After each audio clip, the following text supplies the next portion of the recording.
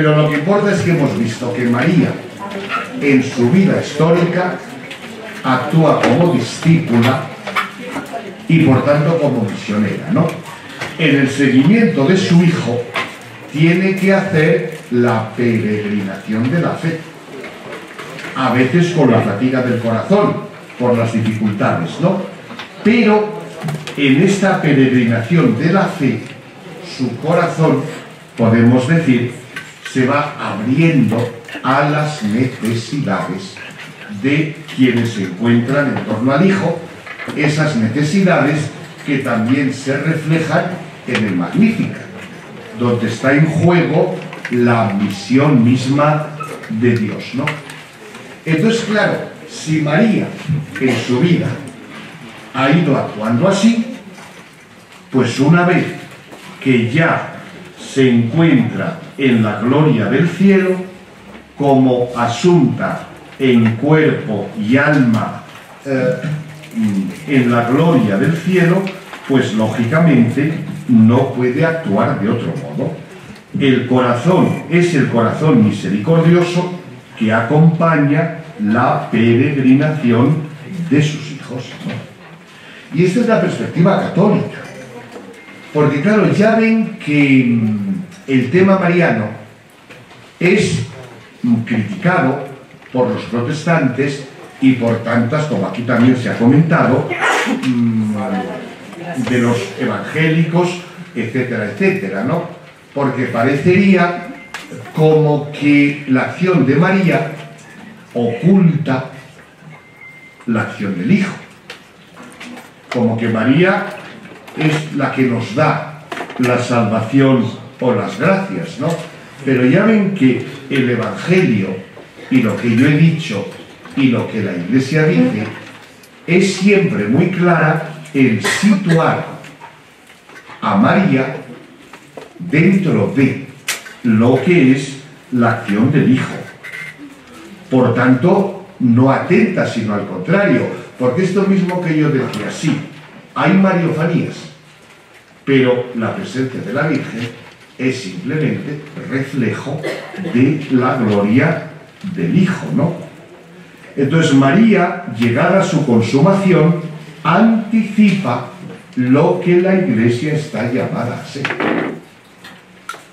Por eso es el icono de la Trinidad y al mismo tiempo es la figura de la Iglesia. En este modo de actuar de María encontramos lo que la Iglesia tiene que ser y siempre en el escenario y en el horizonte de la misión desde una caridad que se compromete. El corazón, que es la sede de los sentimientos, en el caso de María, es ese corazón el que va mostrando lo que significa su, su maternidad y lo que significa la caridad que se compromete.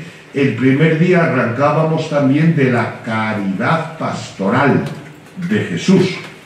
Entonces, claro, María, que ha seguido al Hijo, participa de ese mismo amor y ahí va realizando su misión.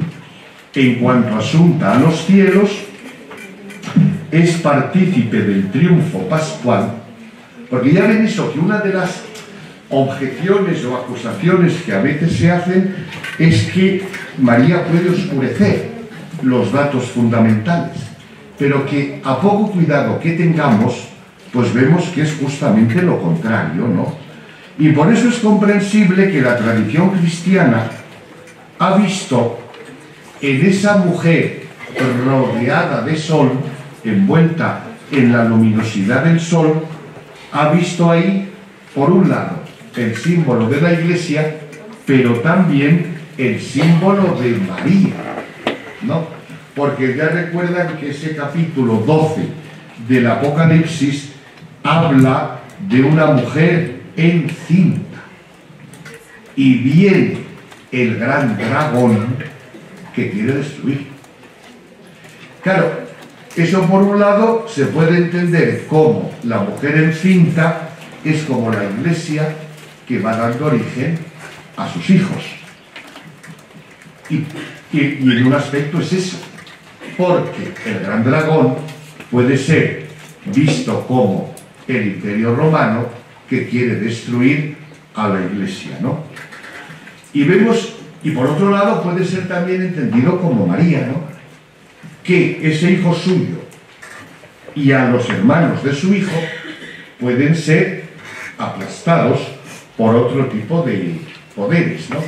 Y en ese mm, símbolo del Apocalipsis 12, pues vemos cómo se encuentra esa mujer revestida de sol, por tanto, eh, con el triunfo de la gloria, pero a la vez, en la historia que todavía sigue y continúa, hay dragones, bestias, persecuciones, etcétera, ¿no? Es la historia real que vivimos y ahí es donde María tiene que ejercer su función como corona de la obra salvífica y también responsable y protagonista de esa historia de la Iglesia y la humanidad peregrinas que van caminando hacia su salvación. ¿no? Y ahí es donde se realiza la maternidad espiritual de María. ¿no? Es decir, aquel fiat que dijo al principio, ahora presente ya en el cielo, ella sigue colaborando en la obra de la salvación como madre, porque su misión es que, en cuanto madre del Hijo, pues tiene que continuar la misión del Hijo en favor de los hermanos y así ejerce su misión eclesial. Les voy a leer dos frasecitas del Vaticano II que dice, la maternidad de María perdura sin cesar en la economía de la gracia. Con su ascensión, con su asunción a los cielos, no abandonó su misión salvadora, sino que continúa procurándonos con su múltiple intercesión los dones de la salvación eterna. Con su amor de madre, cuida de los hermanos del Hijo, que todavía peregrinan y viven entre angustias y peligros hasta que lleguen a la patria feliz. Es decir, María glorificada se inserta en la marcha de la iglesia y ahí ejerce su misión. ¿no? Por eso, María es la madre de todos los fieles y pastores. Y dice también, para evitar estas malas comprensiones que decía antes, esto está en el número 62 de Lumen Gentium, y lo que voy a leer ahora en el número 60 dice, todo el influjo salvífico de la Santísima Virgen sobre los hombres dimana del beneplácito divino y de la superabundancia de los méritos de Cristo. Se apoya en la mediación de este, del Hijo, y depende totalmente de ella, y de ahí saca su poder. Y lejos de impedir la unión inmediata de los creyentes con Cristo, la fomenta. Por consiguiente, la Virgen nunca puede servir de mm, pantalla o de muro que impide ver al Hijo y a la Trinidad. Decíamos icono.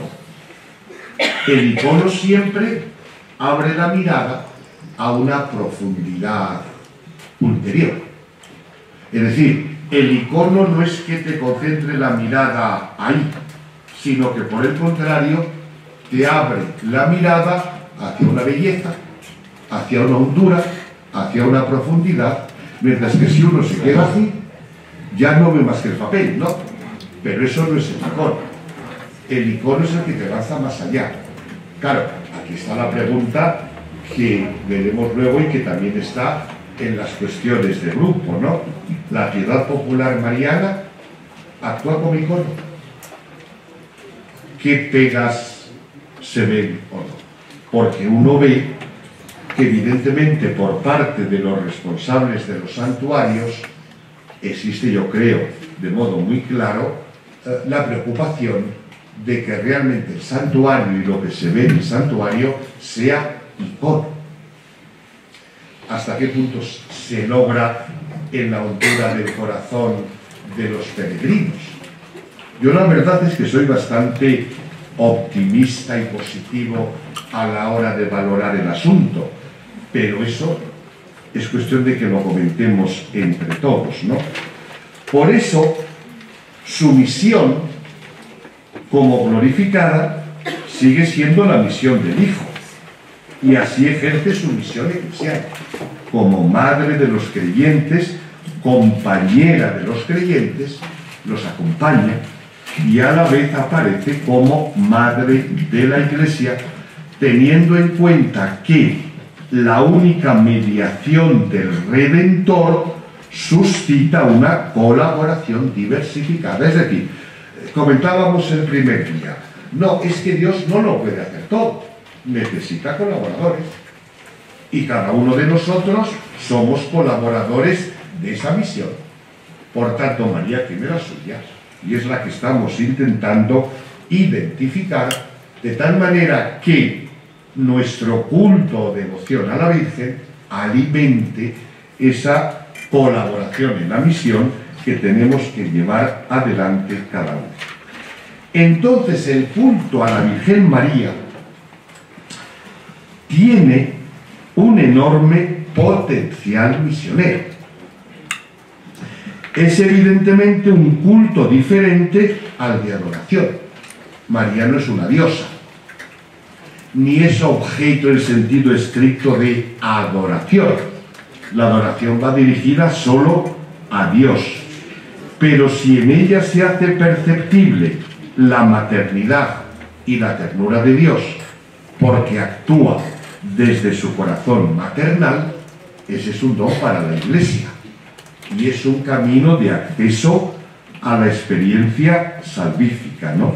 El reflejo de los dones del Espíritu y también potencia la sensibilidad eclesial, porque la devoción a María eh, no da a la Iglesia un toque más sensible y de mayor empatía.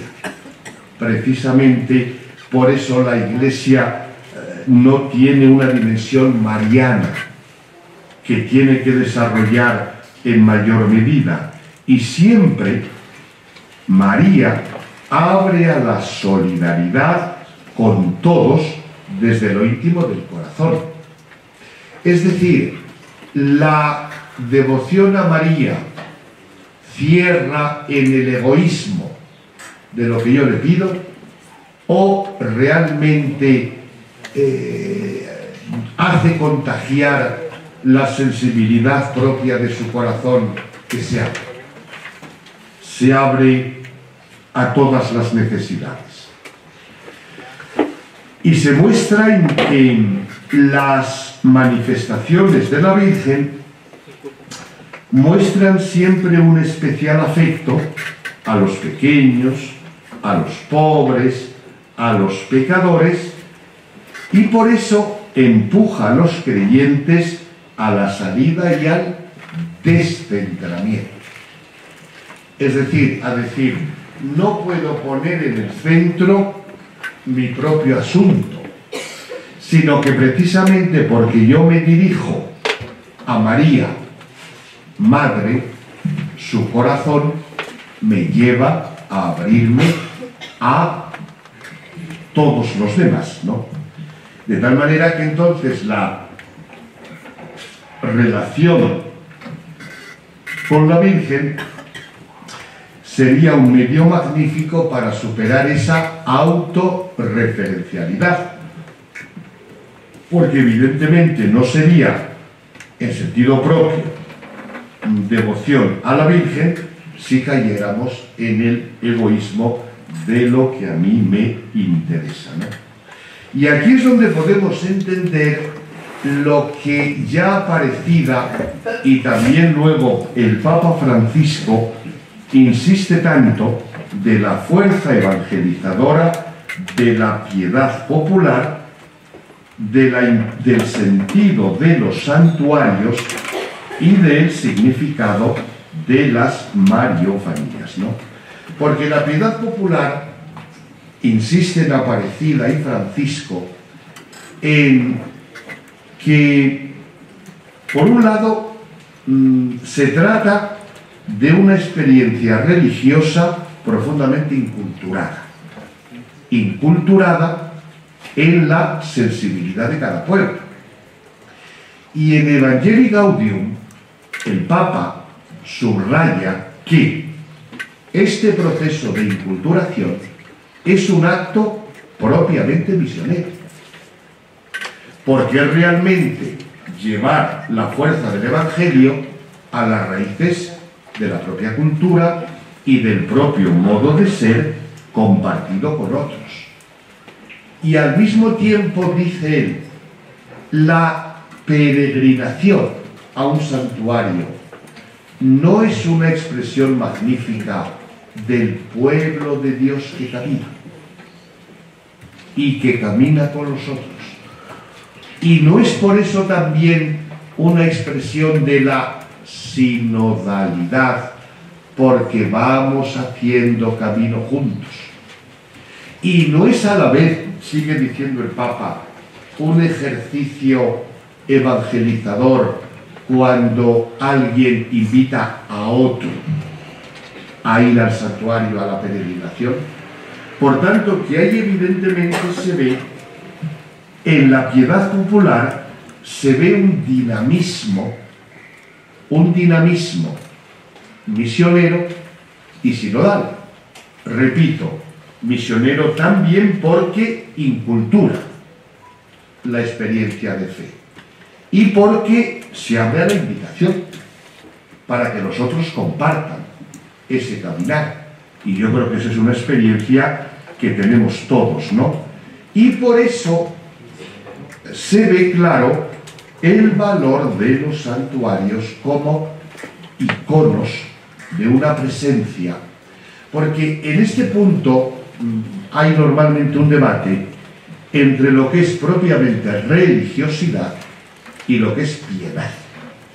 Es decir, la religiosidad sería, no sé cómo decirlo, algo puramente natural, algo puramente natural de contacto con lo infinito, con la energía cósmica o con qué sé yo, ¿no?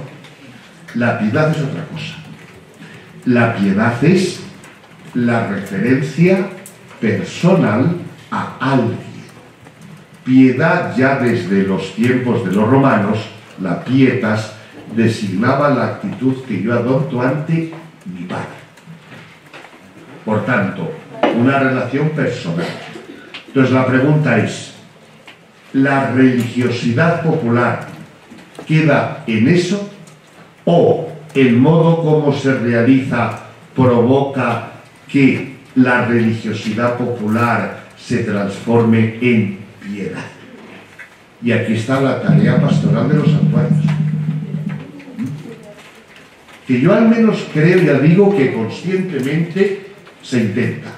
Es cuestión luego de que entre todos evaluemos hasta qué punto se logra o no. Y entonces el significado de las mariofanías, yo creo que queda claro. Es decir, eh, dado que Dios es misericordioso, y si el corazón de María tiene ese toque maternal, etcétera, ¿no? Podemos preguntar también un poco estúpidamente, ¿no? ¿Hay alguien más adecuado para que siga acompañando al pueblo peregrino que María. Si como María, si pidiéramos un currículum ¿no? a todos los candidatos, pues podríamos decir que la Virgen María cumple todos los requisitos, ¿no? Porque ya hemos visto que había venido haciendo méritos, ¿verdad? Desde su vida. Entonces, claro, llegado el otro mundo. ¿y por qué es la Virgen la que se aparta? Pues mire usted, porque es la que tiene el currículum más. O sea que, para no decirlo todo con categorías teológicas, pues también podemos utilizar palabras más comprensibles, pero que se entiende perfectamente lo que se quiere decir, ¿no? Entonces, claro, que sea María tiene todo su sentido, ¿no? Por el papel que ocupa en la historia de la salvación y porque ella entiende lo que es ir peregrinando en la fe con la fatiga del corazón, ¿no? Y luego, claro, estas eh, mariofanías tienen un sentido evangelizador, es decir, por un lado tienen un sentido de, de comunión y de evangelización, yo creo que muy claro, ¿no? Yo he estudiado especialmente lo de Fátima y yo veo que, claro, es, un, es una presencia que se percibe en momentos de especial intensidad dramática en un momento de la historia. Y entonces, claro, ahí aparece la Virgen también hablando de misericordia. Y yo digo que, porque el mensaje de Fátima suena mucho anuncio de catástrofes, de secretos no desvelados y no sé qué cosas, ¿no? Pero ahí se ve fundamentalmente también que yo, por ejemplo, eh, un libro que escribí sobre Fátima hace tres o cuatro años, ¿verdad? Lo titulaba así, El mensaje de Fátima. La misericordia de Dios, el triunfo del amor en los dramas de la historia. O sea, la misericordia es una palabra que en Fátima es omnipresente desde el principio hasta el final. La misericordia. Y la misericordia que nos dice, pues que el amor va triunfando por encima del mal y de todas esas cosas. O sea, proclama que hay una esperanza más allá y a la vez también a los destinatarios les interpela. Y es muy interesante ver que en, una, en la primera, de la aparición del 13 de mayo, pues ya veis que la Virgen le dice, le pregunta a los pastorcillos de Fátima, ¿queréis ofreceros a Dios ante, a pesar de los sufrimientos que esto lleve consigo? Y saben ustedes la respuesta de Lucía, ¿cuál? Pero dice luego Lucía, dice, es que dijimos, sí, y ella recuerda, aquí estoy. Dice, hicimos como Jesús cuando entró en este mundo, aquí estoy. E hicimos lo mismo que la Virgen, aquí estoy. Es decir, que como sucede siempre, el encuentro o el ser encontrados por, es decir, la experiencia espiritual, mística, implica una llamada que a la vez es un envío y una entrega. Entonces es constante, ¿no? Y, y además yo creo que un acontecimiento o unas mariofanías como las de Fátima están también viviendo de esa dimensión pascual. Porque la Virgen aparece llena de belleza, y de luz. Y es muy curioso que habían quedado los tres pastorcillos en no decir nada a nadie. Porque, claro, enseguida iban a venir comentarios, curiosidades, etcétera, etcétera, ¿no? ¿Eh? Y para evitar líos, mejor que esto quede aquí, ¿verdad? Y resulta que aquella noche, Jacinta que era la más pequeña, le dice a su madre que había visto a la señora. Y claro, al día siguiente le dicen los otros que qué barbaridad que había faltado al compromiso. Y a mí me encantó la respuesta que dio Jacinta, que a la luz de lo que hemos visto estos días, resulta clarísimo. Dice, es que sentía en mí una alegría que no podía callar. Es que es curioso. ¿Y cómo empezó la cosa en Pascua? No.